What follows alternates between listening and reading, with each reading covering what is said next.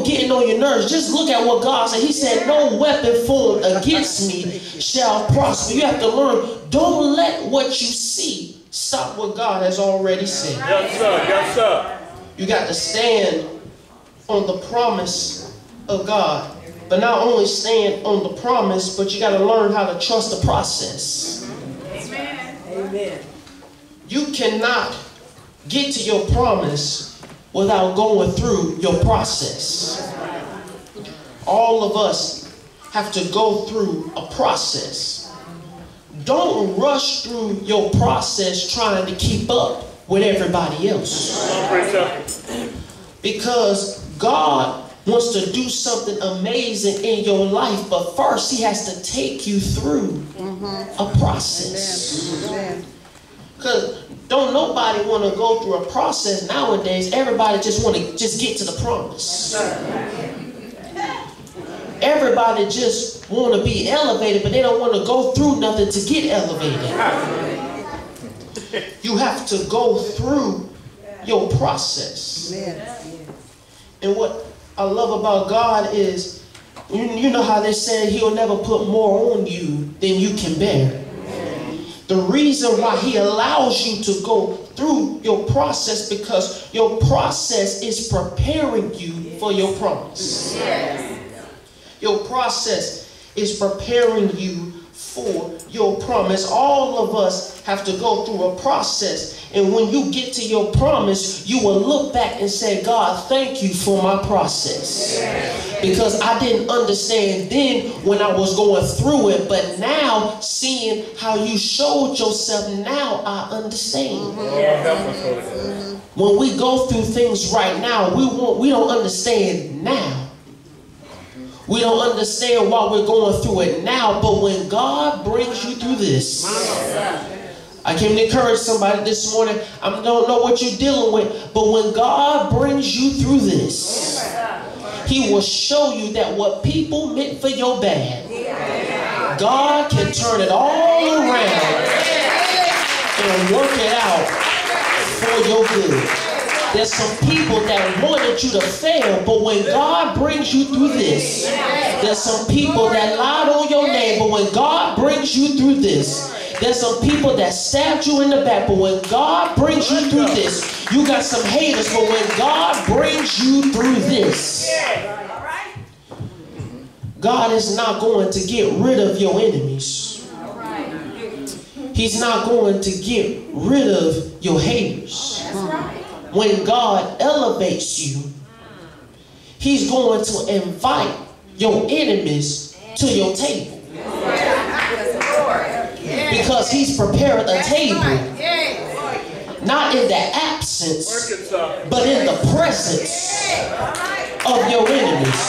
So, what I don't understand is people want to be elevated, but they don't want enemies. Because the, your enemies is the evidence of your elevation. Okay, somebody missed this, so I'm saying again. Your enemies is the evidence of your elevation. So that's why you might as well just go, go ahead and let people do what they want to do. If they don't want to be there for you, let it happen. If they want to lie on you, let it happen. If they want to stab you in the back, let it happen. If they don't want to be friends with you no more, let it happen. Because what God is doing, God is preparing a table for you. You got to stick to the plan. You may lose some people in this walk of life. See, one thing I've noticed is when you're on the same level with everybody else, they'll be your friend then. But if, if you mess around and elevate, you, you mess around and get a new promotion. Come on, preacher. You, you mess around and get a new car. You, you mess around and get a new house.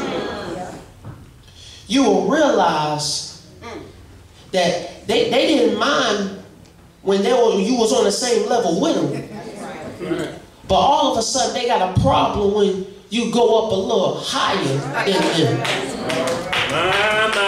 And see, what you have to understand is you will find out who your real friends are as soon as you get blessed. You'll find out who really supports you when you get blessed. When you get elevated, you'll realize who's really there for you. But God says you got to stick to the plan. Mm. Things may not go the way that you want them to go, but just stick to the plan. Mm. You, you, you may lose some people, but you have to stick to the plan. You have to stand on the promise that I made to you, and you have to trust the process. You have to wait on me and trust in me. And the question I have this morning is do you trust God? Even when things don't look the way that you want them to look, do you trust Him? When you're going through the storms of life, do you trust Him? Because what I love about God, God has never made a promise and then broke it. Because we, we, we serve a God who always and will always keep his promises. So some people may be like, well, I know that God has a plan for my life. I know God has a calling on my life, but what I'm dealing with right now, it seems like something's not adding up, but just stick to the plan. That's God is preparing you for the plan that he has for you. You have to stick to the plan. Yeah, you may not have all the information, but just stick to the plan.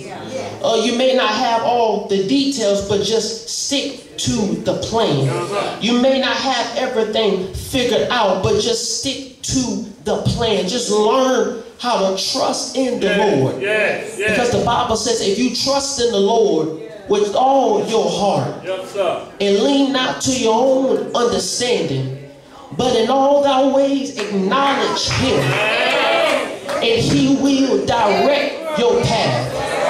Um, I, I understand you may not know what's all going on, but you have to have a made up mind that I'm going to keep on trusting him. Uh, things may not look good right now, but I'm going to keep on trusting in him. I'm going to keep on believing in him. I'm going to keep on praying. I'm going to keep on serving. I'm going to keep on fasting. I'm going to keep on praising. And I'm going to keep on worshiping. Because the Bible says, I will bless the Lord at all times. And his praise shall continually be in my mouth. Do I have any witnesses in here that's going to keep on praising the Lord? Oh, of sickness in your body, you're going to keep on praising him. Then you don't know which way to go, but you're going to keep on praising him. Because I serve a God who keeps his promises.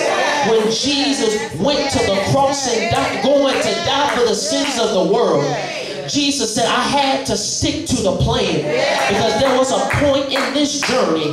I even asked Jesus myself, Lord, is there another way? But I, I had a little fleshly moment. But at the end, he said, Nevertheless, not my will, but thy will be done. So he stuck to the plan and he died for your sins and mine. They tell me that they hung him high and they stretched him wide. And he died for your sins and mine. They put him in a bar or two. But early one Sunday morning, he got up with all power in his hands. And because he got up, you can get up too. And because he overcame the world, you can overcome too. Because you can do all things through Christ that strengthens you. And because he got up, you can get up too. I dare to look at your neighbor and say, neighbor, get up. You've been down too long,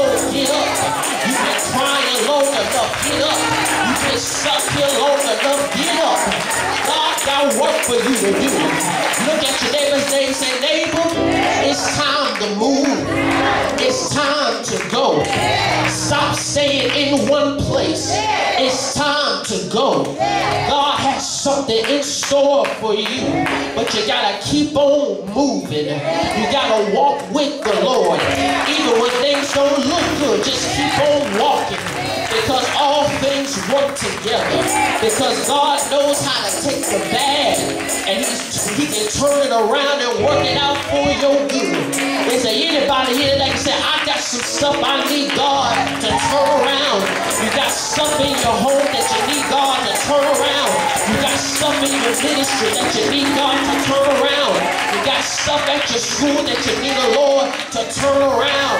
I just dare to touch your neighbor one more time and say, neighbor, I believe in God for a turnaround.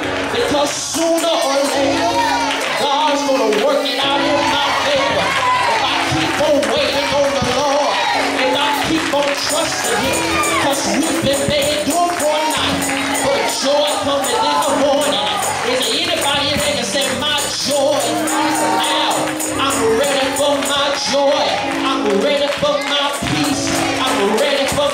I'm ready for my favor. Because sooner or later, the Lord will.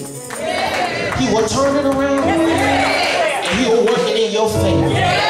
Just stick to the plan that God has for you. Stick to it. It, it may not make sense, but just stick to it. Because when God brings you through this, when God starts blessing you, when God start revealing every promise to you, you will realize that if I would have gave up, I would have never seen what God is showing me now. Don't give up. Don't don't throw in the towel. Don't quit. I understand it's easier said than done, but when you press your way through, when you keep on believing and trusting in God, God says, if you just trust me, I will supply your needs. I will never leave you. I will never forsake you. I'll fight your battles. I will guide your footsteps. Just trust me.